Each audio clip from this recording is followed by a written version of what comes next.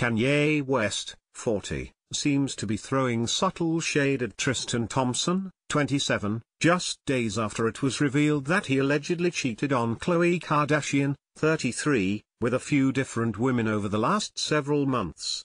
On April 15, the rapper took to Twitter and posted a picture of himself with Khloe's ex-husband, Lamar Odom, 38, when they walked into MSG together during the Yeezy fashion show on February 11, 2016.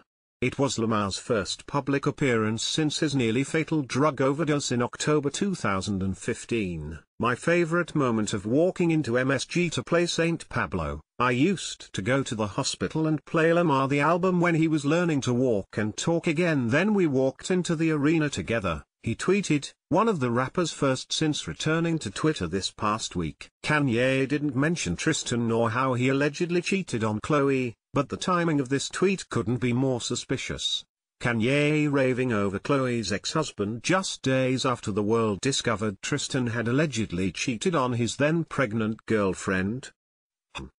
If you ask us, he's definitely making it clear that he wishes Chloe had given Lamar another chance. Maybe then, she wouldn't have had to experience the heartbreak Tristan recently put her through.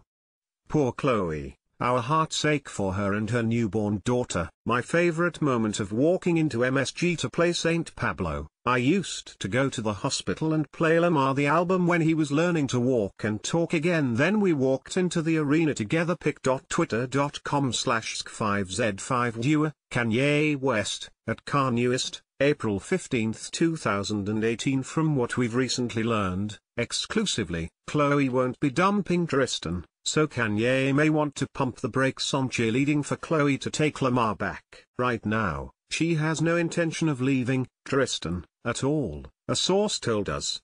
Could Kanye persuade her to change her mind? Anything is possible, right?